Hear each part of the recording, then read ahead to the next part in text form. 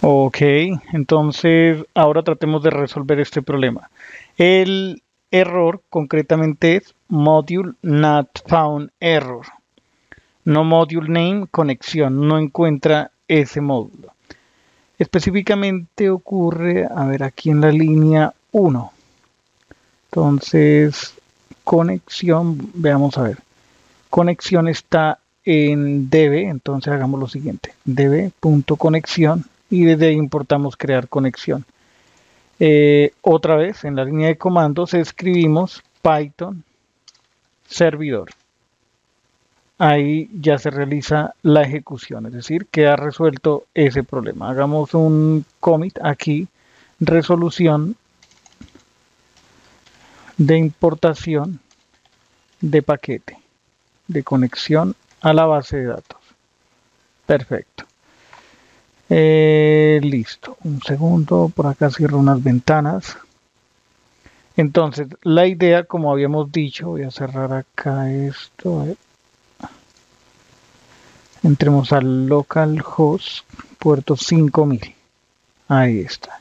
Entonces nosotros podemos escribir ABC y ahí ya se agrega la tarea.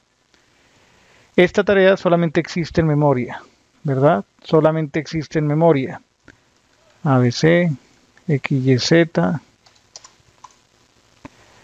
Si refrescamos esta ventana, desaparecen de ahí las tareas. Desaparecen. Entonces, eh, la idea es almacenarlas en el servidor.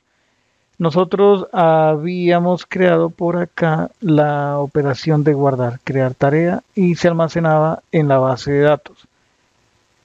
Eh, voy a decirle aquí que la actualización se realice más tarde, la de Visual Studio Code. abriré DB Browser SQLite.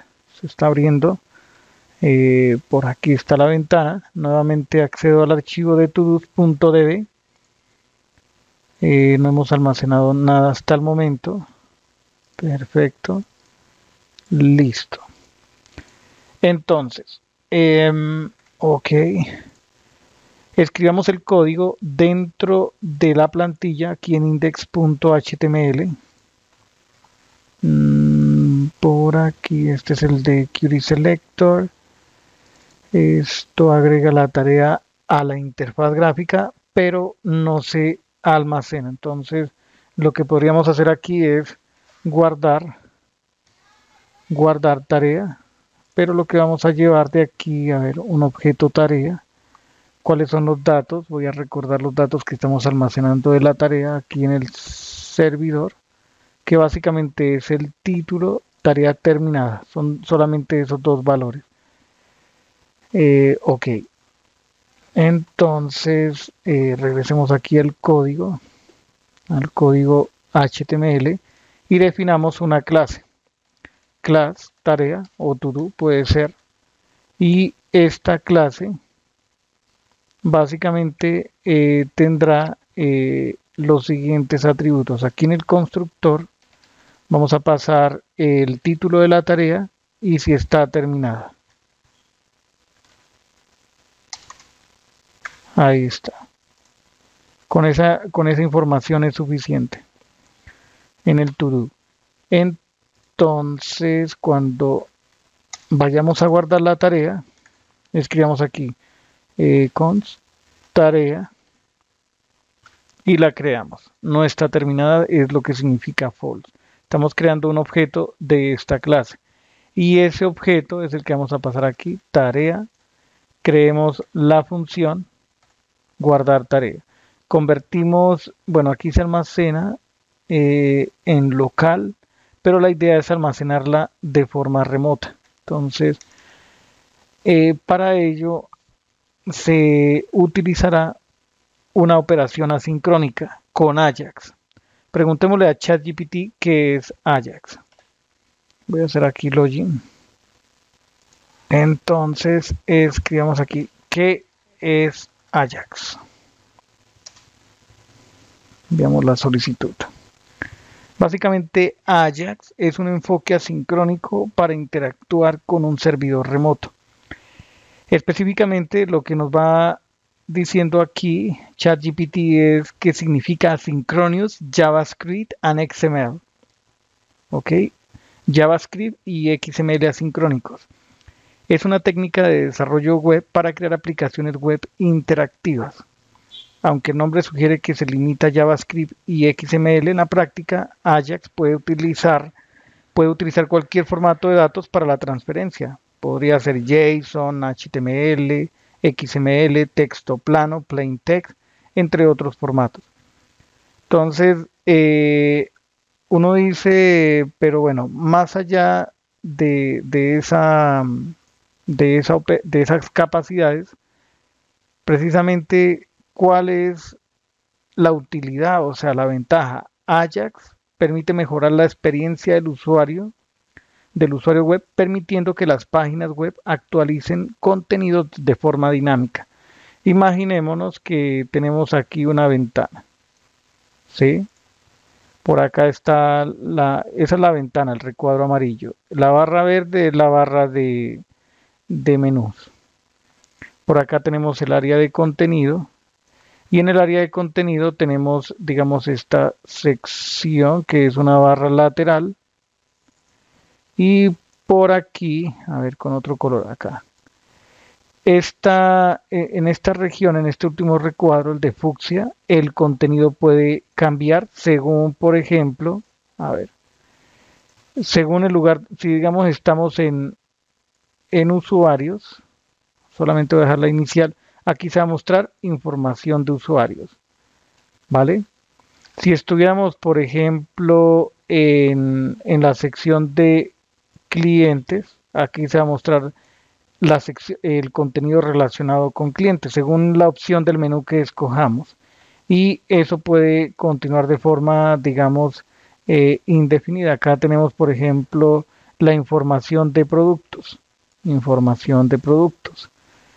Y a medida que hagamos clic en esas secciones, Asimismo, se, va a actualizar esa región, esa región fucsia. El contenido cambia de forma dinámica. Eso es una ventaja, es una ventaja tremenda. Perfecto. Entonces, eh, ¿qué más encontramos por acá? A ver. Eh, sin necesidad de recargar toda la página, solamente estaríamos actualizando esta región. La región de la barra lateral, la de menú, van a permanecer fijas. No es necesario hacer otra consulta, otra consulta HTTP al servidor para guardarlas de forma local.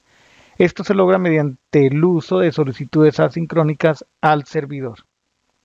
Podríamos decir que esas solicitudes asincrónicas ocurren detrás de cámara el usuario cuando toca, por ejemplo, eh, en la sección de clientes, se despacha una solicitud al servidor. Acá pensemos que está esa máquina, ¿sí? Y la página permanece, digamos, activa. El usuario puede interactuar con otras regiones de, la aplicación web, de la página, eh, y el contenido eventualmente se devuelve. Voy a escribir aquí con otro color se devuelve y llega aquí. Es decir, aquí habría un tiempo eh, con otro color. Con otro color, lo voy a dibujar. Puede ser esto. Aquí habría un tiempo. Y ese tiempo eh, o pueden ser, digamos, tres segundos que se tarde la, la solicitud, como podrían ser 5, 7, según la velocidad de conexión a la red básicamente las operaciones asincrónicas son como promesas. Eh, se, hace una solicitud y esperan, se espera a que sea resuelta. Por acá dice algo adicional, es decir, una página puede enviar una solicitud al servidor y continuar operando mientras espera la respuesta. Otra forma de decir lo mismo que acabo de mencionar. Em, a ver, ¿Qué más decía por acá? Una vez recibida la página, puede actualizar parte de su contenido basándose en los datos recibidos, todo esto sin interferir, interferir, con la interacción del usuario. Y aquí hay otra descripción adicional y cómo lograrla. Vamos a utilizar el enfoque fetch. Yo no, no recuerdo si aquí incluí... Vamos a utilizar las capacidades eh, de JavaScript moderno para hacer esa solicitud, para guardar eh, la tarea en el servidor remoto. Escribamos acá eh, un commit que diga función, función para guardar una tarea de forma local y lo, sí, dejémoslo así. Nos falta eh, guardarla de forma remota. Permítanme un segundo. Voy a subir estos cambios al servidor remoto y ya continuaremos en el siguiente video.